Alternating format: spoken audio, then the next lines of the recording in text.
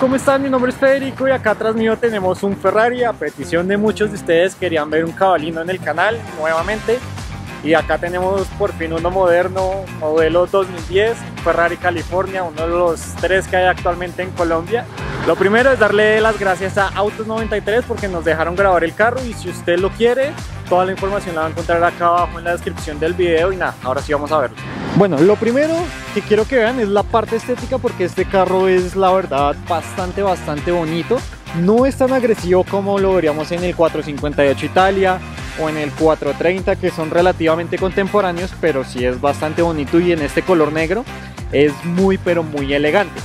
Hablando un poco de la historia de este carro, el California fue el primer modelo de entrada de los 2000 hacia acá. Bueno, de entrada si se le puede llamar así. Y otra cosa interesante es que fue el primer Ferrari en montar un motor V8 frontal central.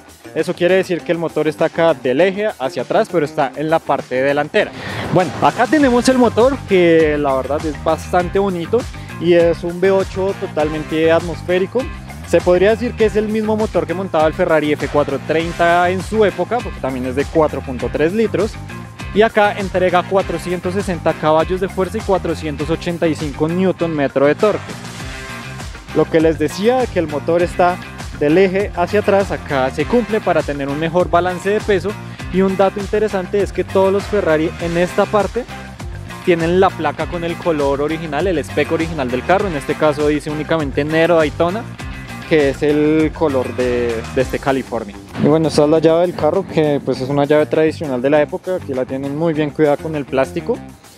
Y siguiendo por lo estético, les quería decir que acá tenemos estos reflectivos en color naranja y eso quiere decir que este carro es versión americana. En ese país, eh, pues por temas de regulaciones, viene con ese tipo de cosas.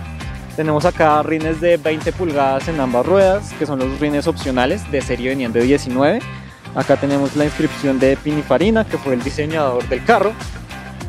Y la parte trasera también es bastante bonita.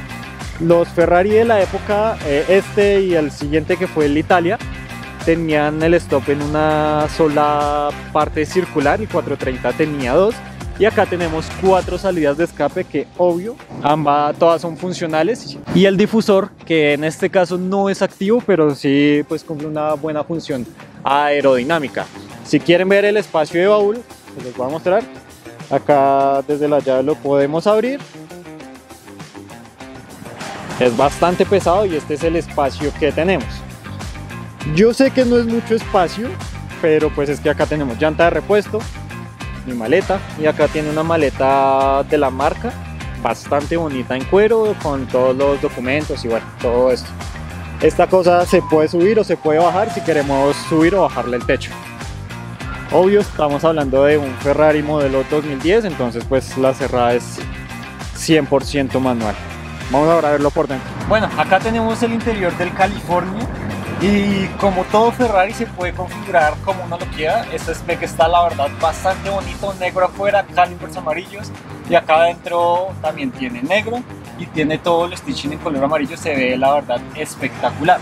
Empecemos por el volante, que este es un volante de, se puede decir de la nueva generación, donde ya tenemos acá el manetino con tres modos de manejo, modo comfort, modo sport y por último el modo que le quita todas las ayudas, que es un modo exclusivo para pista.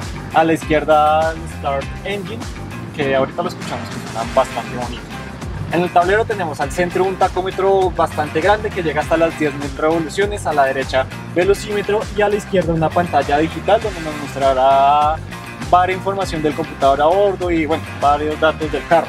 Acá en el centro tenemos una pantalla a color y es táctil de 6.5 pulgadas que para la época estaba bien, estándares actuales está bastante pequeña pero pues eso no importa.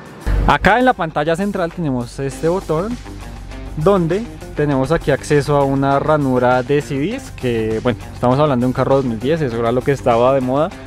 Dos vents de aire acondicionado estilo turbina acá tenemos toda la parte del aire acondicionado doble zona automático obviamente. Acá tenemos el botón PS que significa un launch control el botón de reversa y el botón de automático para colocar la caja no automático acá para abrir o cerrar el techo y por último tenemos los elevavidrios vamos ahora a encenderlo para encenderlo tenemos la llave la introducimos acá, la giramos.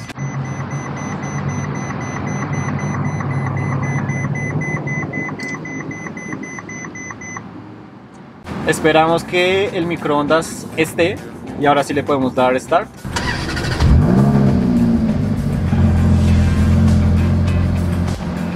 El sonido de un Ferrari la verdad es muy característico y más de estos atmosféricos es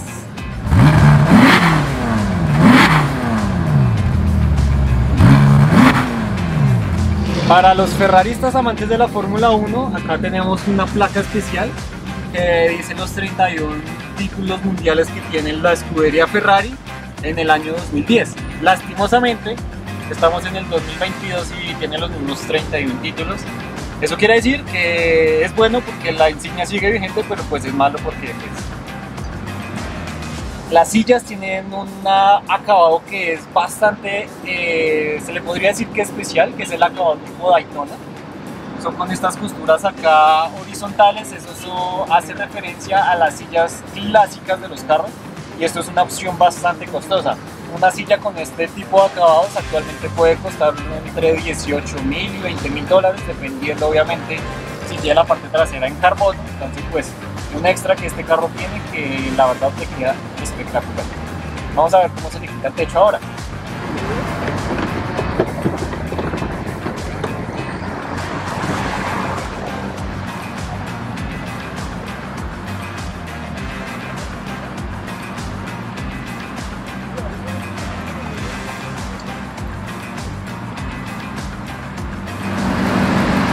Otro de los detalles de este carro es que acá en la parte central no tenemos el claxon, el pito, como le quieran llamar, sino lo tenemos acá. Y acá este ladito también. Y si ustedes saben, los Ferrari modernos tienen todos los controles acá en el volante. En este caso no, acá sí tenemos direccionales tradicionales, como lo veríamos en otro carro, no las tenemos acá.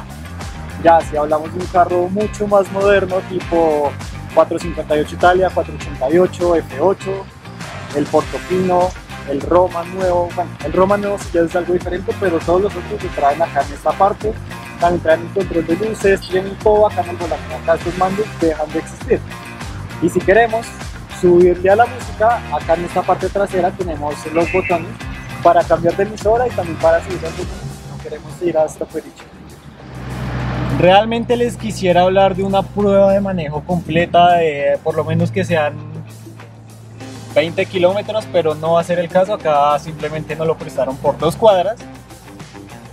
Y realmente estoy muy, pero muy feliz porque este carro, o sea, yo que soy ferrarista, es la primera vez que manejo un Ferrari moderno en la calle y la verdad se siente espectacular. Sé que no estamos ante un pista, ante una cosa loca, pero créanme que todos los Ferrari tienen esa sensación donde uno dice, uff, este carro es especial. Así se siente, se siente como que estás manejando algo especial por muchas cosas. Sé que quizá para muchos no lo sea, y también sé que estoy dando vueltas en una bahía para hacerle un poco más de kilómetros, pero créanme que es un carro que que desde anoche que sabía que lo iba a manejar hoy, estaba así como que me temblaban las manos porque sí, se siente muy especial realmente. El sonido de ese motor, una cosa brutal. Esto a altas velocidades debe ser una cosa absurda y más con el techo abajo. Realmente si tiene la plata que cuesta este carro, no lo piensen es una, un buen capricho realmente.